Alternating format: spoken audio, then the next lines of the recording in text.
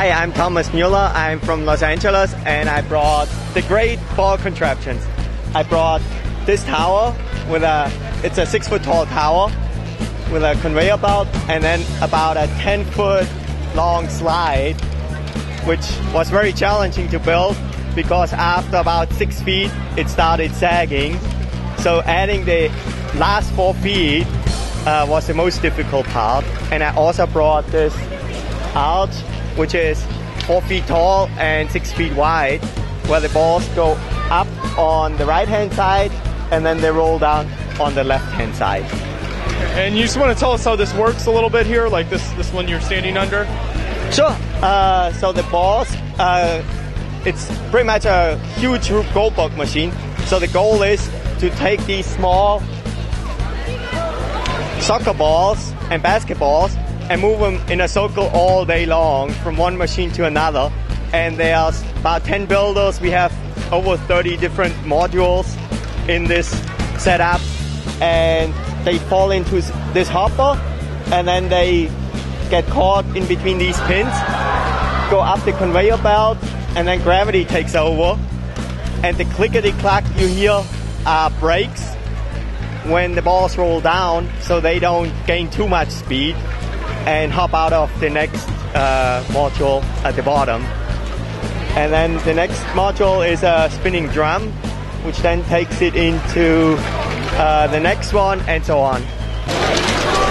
This, this one right here, the balls come up and around and drop out one at a time. And they fall into here and are swept up in groups, a layer at a time. They come into this module, which pumps them a group at a time into this module. And this module allows them to flow down and then they come up this conveyor. And when they get to the top of the conveyor, they can go two ways. And the ones that come this way circle back down and go around again. And the ones that come up this side come down out here and go on down and then exit this module. And from there, they go into this small wheel which picks them up, brings them over. And as this gets reaches to the top, there's a point where it flips and it drops the drops the balls down into the next module. From there, this brings them up and they can ride in parallel very slowly and they get dumped and then brought down as a trail. And the next, at the Ferris wheel, they're, they're dropped uh, one at a time onto uh, a little, the carrier and the carrier brings it all the way around and, and this, this Ferris wheel can hold up to 60 balls at once. And once they come all the way around hanging on the carriers, the balls get dropped off by this bar that, that tips it and drops the balls off and they roll out and onto the next module. This next module is basically just a platform that goes up and down and allows them to uh, roll into the platform and then roll out of the platform. And the next one is a, a, a counter which uses two NXTs uh, and a light sensor to detect the presence of a ball. And here comes a couple of balls so we can see it go. And it, at the same time it ejects the ball, it adds one to the counter.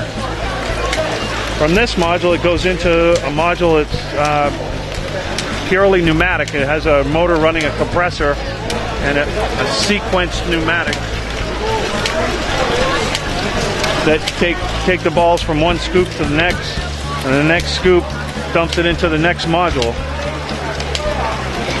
This is a nice, pretty, mesmerizing spiral. Don't look at it too long.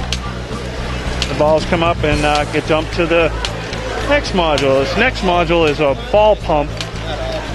Uh, it's uh, borrowed from uh, uh, Philippe, which Philo as we call him.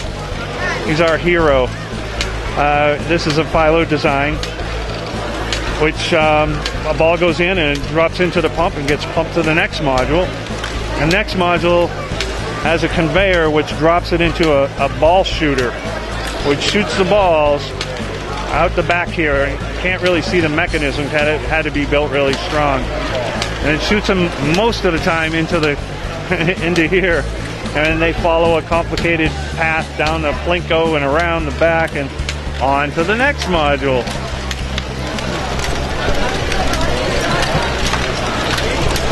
hard, huh? And the next module is a very slow cycling ramp that rises up uh, to dump the balls in little batches to the next module, which is a, a conveyor which has a built-in little bump to kind of keep jams from happening.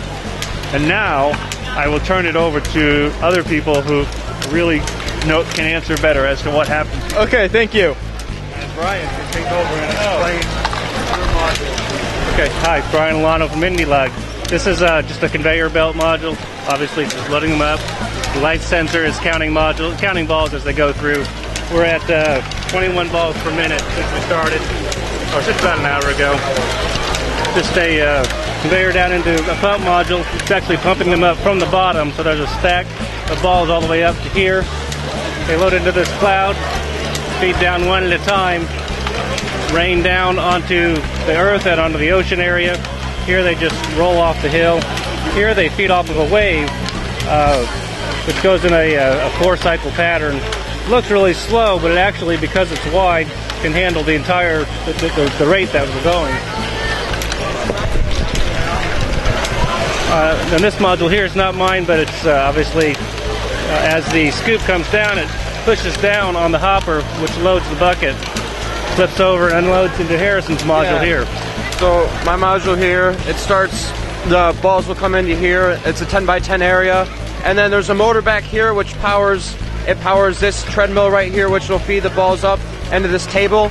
And then there's a wor- there's a gear on the bottom that has a pin attached to it so that it moves the table up and down. So when the balls come through, it'll move them back and forth and there's different holes. And underneath the table, there's a, a tray to catch the balls as it comes through. And then it'll roll them into the next module here, which is just, there's a plate that's on top of a, uh, a beam, and that beam's pushing this piece up here, up and down, to make, make the balls move, and that moves in the next machine. And then in this machine, the balls come down in through here. They land in here, and then you have this uh, motor which uh, turns this gear, which uh, worm gear, and then it, it in this direction it push, pulls the balls up and over, and then, then it, on the other direction it comes down over here and uh, turns this. And then the next module, we have uh, the balls come down in, and then we have two sets of reducing the uh, power of the motor, which leads up into the next one. So, in this machine right here, we have this hammer, which will, this arm, which will take the balls up in the front, and it'll come back over, and then push them into this machine. In here, I believe we have a, it goes up a conveyor belt that's powered by all these gears over here, and there's a little arch right here, which will put some of the, make some of the balls move on to the next machine. And there's also this Ferris wheel, I believe, right here that'll put the other ones back down into the enter point, entry point, and they'll start all, all over again. And this machine's similar, like a couple other ones we've seen before. There's a beam that'll push this plate up and down to let the balls move on. And this machine here, we have underneath we have some gears that where there's some pins attached which will move this bridge up and down so it'll let the balls collect into here and then it'll help push them up and then push them in the next machine and here's another conveyor belt machine except for there's some axle pieces in so I guess it can carry a couple more balls and push them into this machine which there is a gear at the bottom and then there's this tube that winds all the way up it's a simple fashioned Archimedes screw invented a long time ago in the, with the Greeks. And then, so then when it comes up here, there's a little thing that makes it that the balls will travel across. And this machine right here, where we have uh, a, a whole fancy mechanism which will push the balls, spin them around. And this machine, where we have them all collect, and then one at a time, this mechanism right here will push them up into each of these modules, which has a, which are spring powered, and then there's a gear inside that'll make the spring click every time, and then they're timed so that the ball, this ball, the ball on top will move first to make space for the next one coming up. And so eventually, when the balls reach the top, it'll roll down, and then there's a collection point which is movable. So if we're at a convention and we don't have a different space than what we require, we can move this back and forth so it's easier to make traveling from one location to another. And to this machine invented by Thomas. This is your machine. Can you want to explain? Yes. Uh, so it goes into the hopper, and then the conveyor belt picks up the balls, takes them up beyond the tipping point, and then they roll down, and there's stoppers on alternating sides, so it makes the clickety clack sound, and then they hit the ramp and fall into the dozer pad, where kids have the remote control and they move around the dozer, which it's similar to a snow plow. It will just collect the balls and they try to push it into the co- left corner, which is a ball pump that lifts it up. So you can see uh, one of the kids right now is steering the dozer and trying to push the balls on the side and get them in the corner.